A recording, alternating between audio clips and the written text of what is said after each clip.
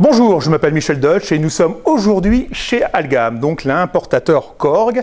Et déjà un petit coucou à, Keyboard, hein, bien sûr, ce, ce bouquin qu'on connaît depuis très très longtemps et qui est vraiment pour, entre autres, les claviers, entre autres. Aujourd'hui, je vais vous présenter une nouveauté qui n'est pas encore sur le marché, c'est-à-dire qui n'est même pas présentée sur le salon du NAM, parce que le, NAM, ça sera dans une petite semaine. Et là, on a en avant-première ce nouveau synthé Korg qui s'appelle le Prologue. Il y aura deux modèles, un 8 voix et un 16 voix. Celui que vous voyez aujourd'hui, c'est le 16 voix. C'est un très très beau joujou. Je ne vais pas vous dire le contraire, mais il y a une chose très très intéressante qui va sûrement vous plaire. C'est qu'aujourd'hui, on est dans des synthés analogiques numérique. Korg, avec le prologue, il fera les deux. On va pouvoir gérer, bien sûr, tout ce qui est analogique, avec des vrais filtres analogiques. J'ai deux VCO qui vont me permettre vraiment de donner vraiment ce, grain analogique. Et j'ai en plus un multi-engine qui va me permettre d'aller chercher des oscillateurs autres que des oscillateurs analogique. Entre autres, d'origine, je vais avoir un oscillateur FM, mais l'avantage, c'est que je vais pouvoir, par un logiciel que je pourrais avoir dans quelques mois, pouvoir créer mes propres oscillateurs et les incorporer dans le prologue.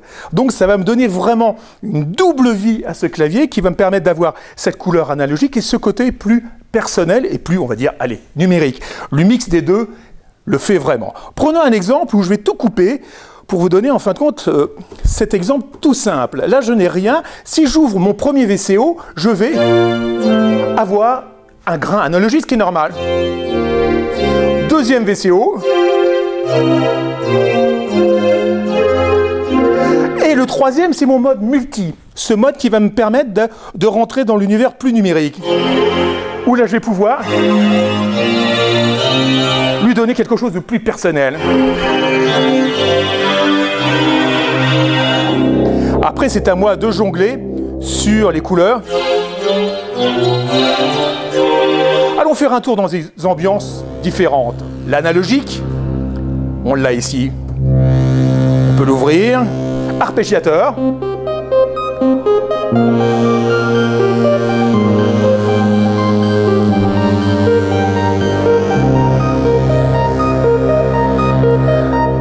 Comme il y a 16 voix, pourquoi pas comme sur un synthé plus traditionnel, plus, je veux dire numérique, splitter le clavier. Alors on peut le splitter en deux, donc avoir d'un côté une source, mais que je vais pouvoir travailler comme si j'avais, en fin de compte, mon synthé entièrement sur cette source, et une seconde source, pareil, je vais pouvoir retravailler de la même façon. Qui veut dire que j'ai deux mondes que je vais pouvoir, en fin de compte, mettre en, en avant. Prenons l'exemple où ici j'ai une sonorité où je vais pouvoir entièrement travailler, ici une autre sonorité, que je vais pouvoir aussi retravailler.